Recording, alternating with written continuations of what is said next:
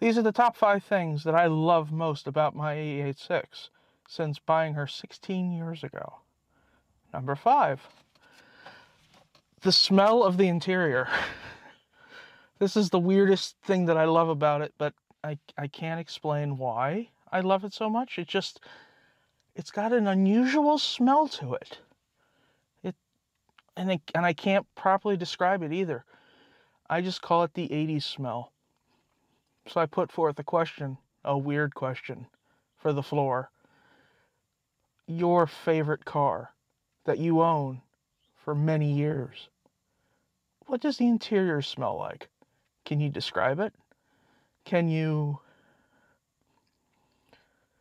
put your finger on it? Because I can't.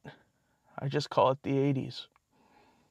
Number four, this manual transmission especially after I put the uh, short shift kit in it, because it is just so much fun to drive. And I love the clutch. It's so forgiving. It's so much fun to drive. I just really enjoy doing that, especially with when you heel toe and you do it without thinking. You ever have you ever done that where you catch yourself um, doing the heel toe. You look down and at the right possible second. I've managed to catch myself once and I was in awe just knowing that I've successfully trained my feet to do that. Number three, basically the ease to repair this car. Um, everything's there. Unlike today's cars where they could designers are just sticking everything they possibly can into an engine bay or put as much stuff as possible into the dash to make it practically impossible to to do. Um, I've taken my car apart many times, and every single time you I do it, it it's it's fun and a headache. But geez, working on all cars are a headache. What are you kidding? Number two, the sound of my ITBs and my HKS high power exhaust. Like, I'll put a uh, link in the description for all all the drives, interior, exterior, whatnot. I just love that sound. It's so addicting. But to be honest, I love the sound of my modded IS on carb. I the sound of the Weber was okay, but nothing will ever top the sound of those side draft carburetors. Nah. And number one, my favorite thing.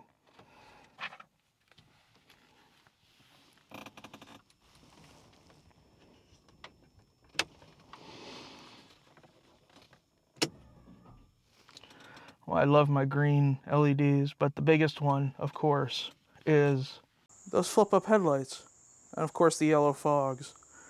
I just love the overall design of the car can't really call it timeless because it is a wedge in the 80s. Every single car had a wedge design. But this little car always yanks at my heartstrings. I just love the way it looks. There you have it. My top five loves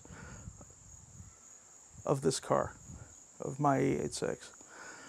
Um, what are your top favorite loves of your cars? Especially, I'm curious to know. What does your interior smell like? Yeah, that's a really odd question, ain't it? So please like, subscribe, and comment.